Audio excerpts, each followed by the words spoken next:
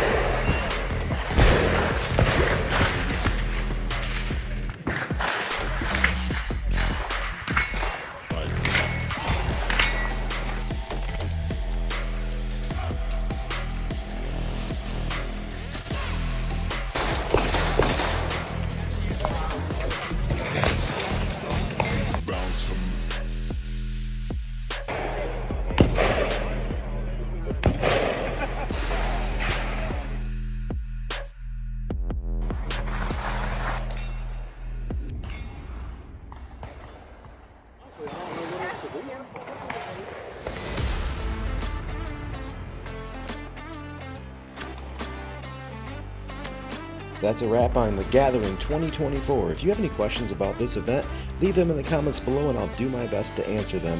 Thank you for watching. Please hit that thumbs up and subscribe.